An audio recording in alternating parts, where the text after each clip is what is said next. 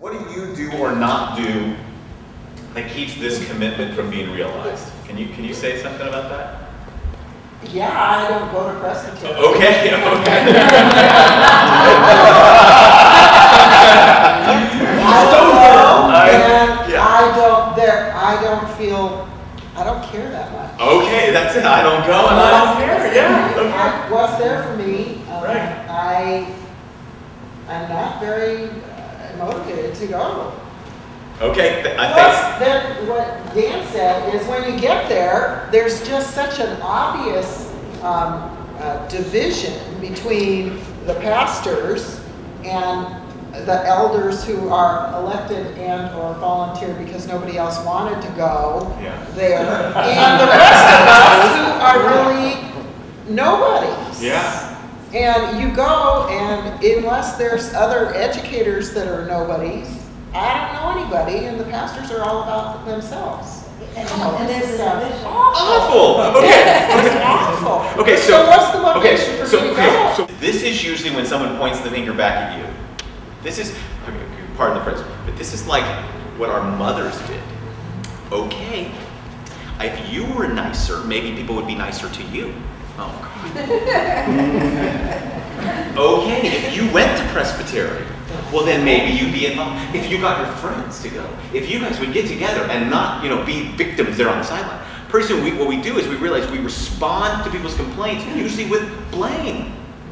So instead, if we can say we're not done yet, we're really not done yet, we're only at the second page, the second part, and this second part becomes very important because this is where we own and say, look, I do know I have a part of the process. I'm not saying I'm the only part, I'm a part of the mess. And the whole thing's got to change. But even as you speak of that, among the pastors, there is low morale.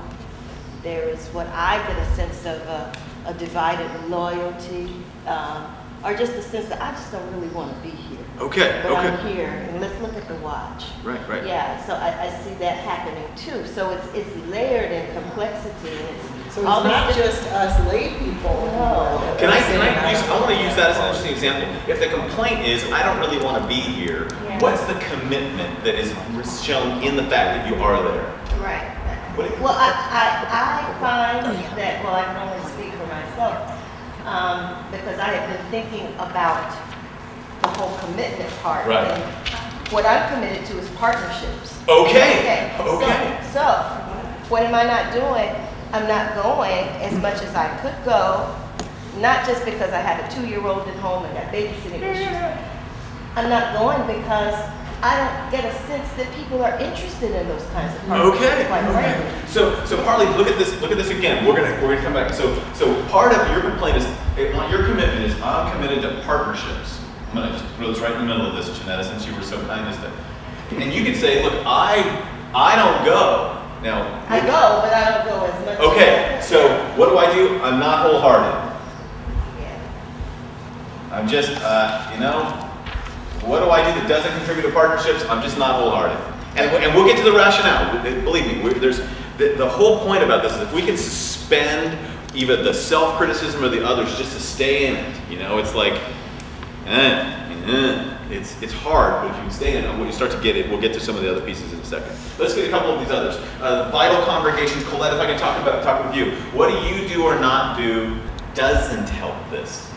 What do I do that doesn't help? Yeah, what gets in the way? What, how am I contributing to this commitment not being realized? Oh, in terms of presbytery, I stopped going to the stuff I don't want to go to. Okay, okay. Bill, what's it, what do you do or not do that contributes? I'm serving on this committee with, with a sense of hope because I, I was excited about the Odyssey thing and I, I love the word, you know, missional and, and learning community. I mean, if, if, that's the presbytery, I'm in. Right.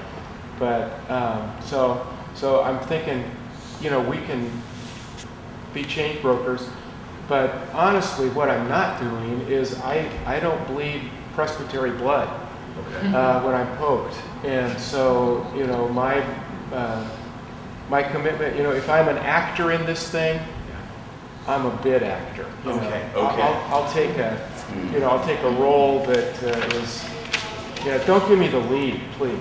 Right. So that's a, you know, kind of foot in, foot out. I limit my investment. Great. Thank you. I really appreciate that. Uh, let me just get uh, one, one more over here from you, Frank. So you talk about you really are committed to trusting the leadership. Okay, so what do you do that or not do that contributes to that? Nothing. I was like, I don't do anything to promote it or not promote it. One of the things I probably should be doing, and it kind of goes back to some of the other things that are committed to, is we need to somehow promote each other. Right. Okay. So that we do know each other. I mean, the pastors do it because we have a pastor retreat, we go away for a weekend. Mm-hmm. But elders often rotate off, and so the one elder's there one year, but only four meetings. Yeah. How well do you really get to know somebody?